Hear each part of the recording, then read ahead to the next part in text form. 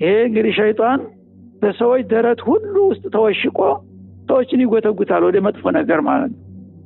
ሚነል ጅነቲ ወናስ እና ከጅንና ከሰው በሆኑ ደረቶች ውስጥ ተደብቆ ሰዎችንም ጅኖችንም ወደ መጥፎ ነገር ይነዳቸዋል ማለት ነው።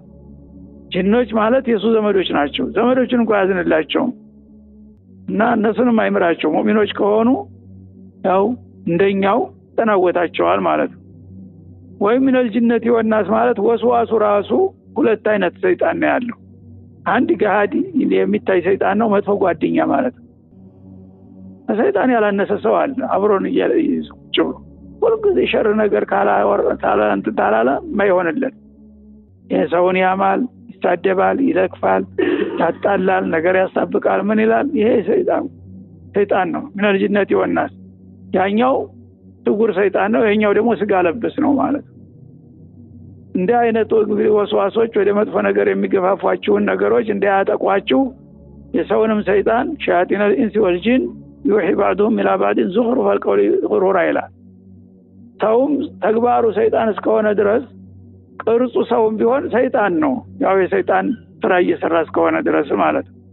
እና ሚነል ጅነት የሚለው በያንያ ናት ይችሚን ያ ወስዋስ የተባለው አንደኛ ያ የጅኑ ብቻ ሰይጣን ነው ካል ተወስዋሾቹ ነው አሁን ጅነት ወናስ የሚለው።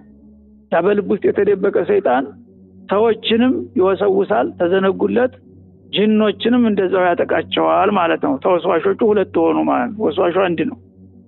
በፊተኛው የማዕና ስንሄድ ግን ሚነል ጅነት ወናስ ማለት የወስዋሶቹ ራሱ ሰይጣኖቹ ሁለት ናቸው ማለት ነው። አንድ ውስጣዊ ነው ያው በሰውነት በደም ሰር ውስጥ የሚሯሯጠው። ሌላኛው ደግሞ በገሃድ የምታየው አንተ ጓደኛ መሆኑን ነው አብሮ አደግህ መሆኑን ነው። ግን ሰይጣን ነው ስራው በባህሪው ሰይጣን ነው። ኸይር ነገር አያዝህም ወደ ኸይር ነገር አይገፋፋም ወደ መጥፎ ነገር ነው የሚመክርህ።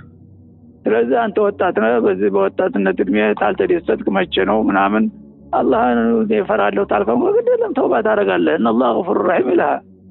ያ ሰይጣን ነው ስጋ ለበስ ሰይጣን ስለዚህ ተወስዋሽም ሆነ ወስዋስ ከሁለቱም በእኔ ተጠበቅ ነው የሚለው አላህ ስብን ወተላ ጠብቀኝ ካልክ ከእንዲህ አይነቱ ሁሉ ጠንክ እኔ እጠብቀሃለሁ አረቀሃለሁኝ በማለት ለነቢዩ አለ ሰላቱ ወሰላም በጊዜው ላጋጠማቸው ችግር መፍትሄ ለዘለቄታው ደግሞ ለኡመታቸው እንዲህ አይነት ጥቅም ያላቸው ስራዎችን አወረደ ማለት ነው